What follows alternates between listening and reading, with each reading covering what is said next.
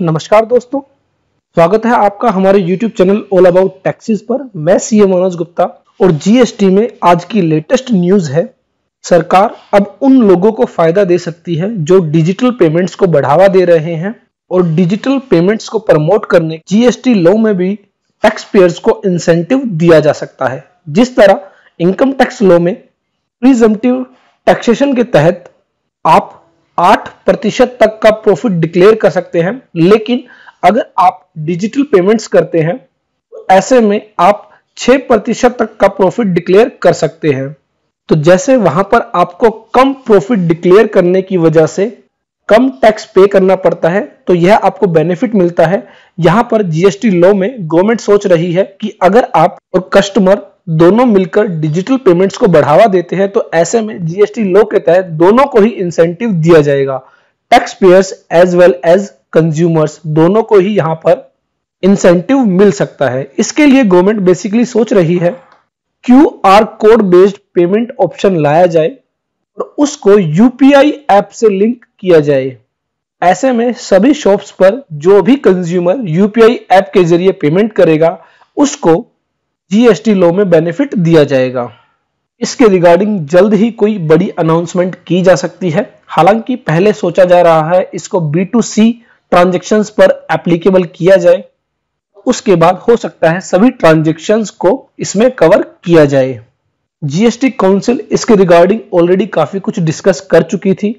लेकिन इसके regarding officially notification या अनाउंसमेंट कोई अभी तक की नहीं गई है, लेकिन उम्मीद है जल्द ही कोई ना कोई ऑफिशियली अनाउंसमेंट इसके रिगार्डिंग की जाएगी। और उसके बाद जो भी व्यक्ति और टैक्स पेयर्स डिजिटल ट्रांजेक्शन को प्रमोट करेंगे डिजिटल ट्रांजेक्शन को बढ़ावा देंगे तो ऐसे केस में दोनों को ही tax payers as well as consumers दोनों को ही जीएसटी का बेनिफिट दिया जाएगा। देखने वाली बात है कि यह बेनिफिट किस फॉर्म में दिया जाता है, कैसे दिया जाता है और किस लिमिट तक की ट्रांजेक्शन्स को इसमें कवर किया जाएगा ये सभी बातें जब तक कोई ऑफिशियली अनाउंसमेंट यहाँ पर नहीं हो जाती है, तब तक हम कुछ कह नहीं सकते हैं the government is looking to mandate a Q R code based payment option using UPI at all shops and establishment with consumers opting for this method of payment, eligible for GST benefit along with shopkeepers.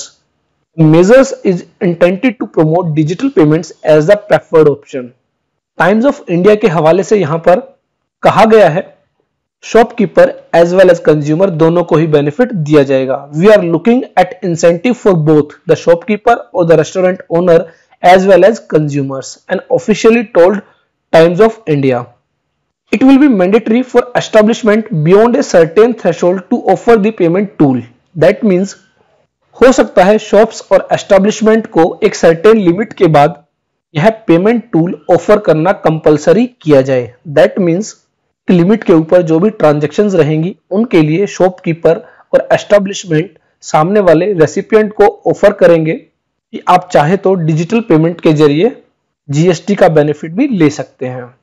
Friends, ये थी आज की news इसके regarding अगर कोई भी officially announcement या notification issue की जाती है तो आप लोगों के साथ शेयर की जाएगी। देखते रहिए लाइक करते रहिए। हमारे YouTube channel all about taxes को।